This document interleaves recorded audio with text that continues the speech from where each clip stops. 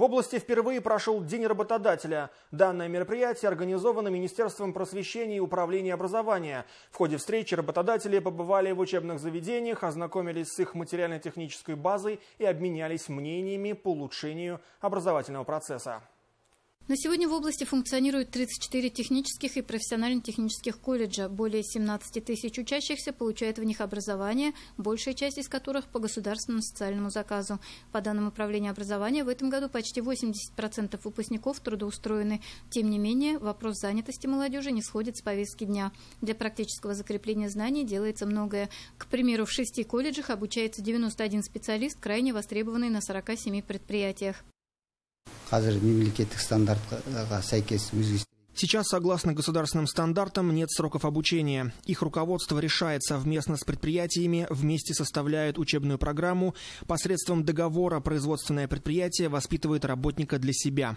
День работодателя продолжился в стенах информационно-технологического колледжа. В рамках проекта «ЖАС Маман» данное учебное заведение оснащено современным оборудованием. После Через интерес к новым технологиям учащиеся подтягивают свои знания по математике. Например, такие глубокие разделы, как тригонометрия. Она постигается благодаря помощи графического планшета, интерактивной и онлайн-доски. В рамках празднования работодатели приняли участие в мастер-классах, познакомились с передовым опытом в учебных процессах, а также высказали свое мнение в вопросах подготовки востребованных для них специалистов. К примеру, компания IT Group Казахстан с данным колледжем сотрудничает более пяти лет. Мы со своей стороны организуем бесплатное профобучение, то есть наши ведущие а, практикующие разработчики преподают, делятся своими знаниями в сфере разработки сайтов, разработки а, программного обеспечения, мобильных приложений, язык программирования PHP. То есть у нас каждый день а, по одному часу мы выделяем время на то, чтобы обучить студентов каким-то новым навыкам.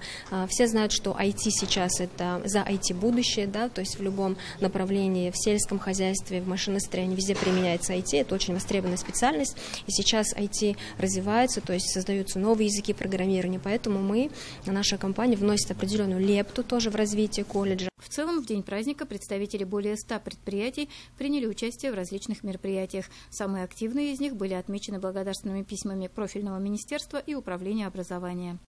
Алмагуль Джампиисова, Асламбек Саламатов, Аида Сагидула, телеканал Акжаик.